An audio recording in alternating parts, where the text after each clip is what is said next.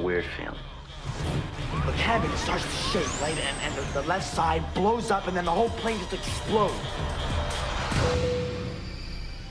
The plane's gonna explode! It's not a joke! It's not a joke! We get thrown off the plane all because Browning has a bad dream? I saw it. The plane! It's gonna blow up! It's gonna blow up! All 287 passengers are feared dead. Because of you, I'm still alive.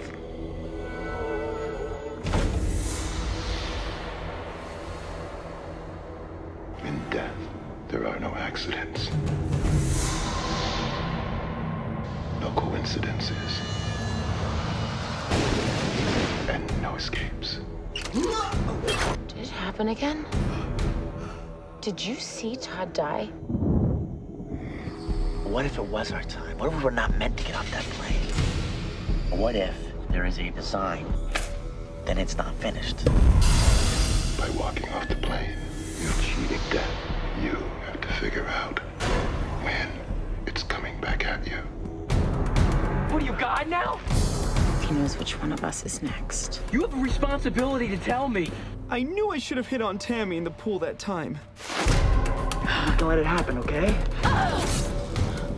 Nobody has control over life and death. Unless they are taking lives and causing death.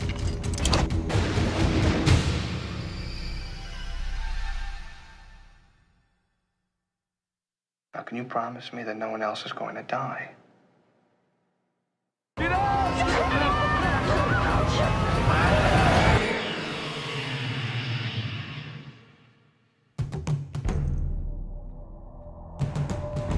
I'll see you soon.